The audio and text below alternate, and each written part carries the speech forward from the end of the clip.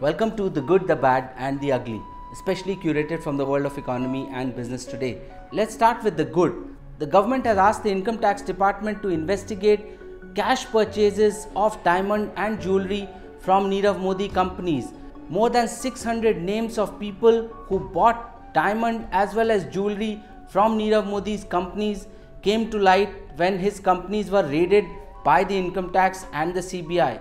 Several of these include prominent businessmen across the country as well as their wives and relatives. Hundreds of notices have already been issued by the income tax department and some such as Abhishek Manu Singhvi's wife have actually challenged such notices asking about the veracity of such claims. This nationwide clampdown on such individuals who use their black money to convert into diamond and jewelry right after demonetization is good because it establishes that the law applies to the poor as well as the rich alike.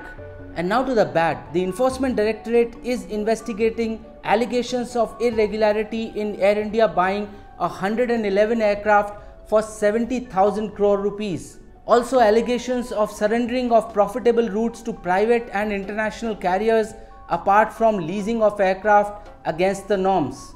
It is also investigating questionable flying schedules adopted by Air India in the past. Three FIRs had been filed by Central Bureau of Investigation in the middle of last year along these allegations. The allegations pertain to causing losses to the airline through dishonest decisions. Also, that the aircraft had been leased without proper study of either the routes or the marketing and pricing strategy. So many skeletons in the Air India cupboard makes this bad.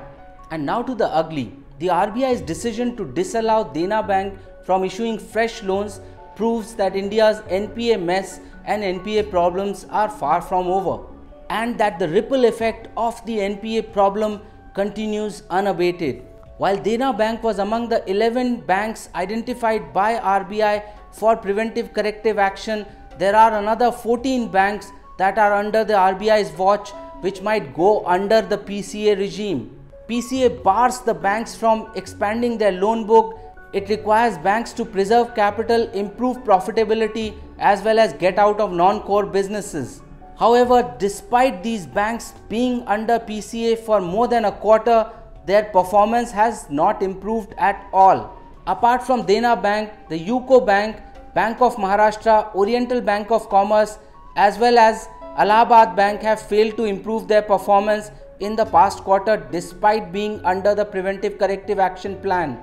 Their NPAs have not improved and their return on assets continues to be in the negative. The very fact that the preventive corrective action of RBI may have to be extended to more than a dozen more banks is what is alarming for the banking sector and makes this ugly. If you enjoyed watching this content, please subscribe to the Business Today YouTube channel and also like us on Facebook. Our Facebook page www.facebook.com slash business today. Follow Business Today on Twitter India at BT underscore India and subscribe to our YouTube channel Business Today India.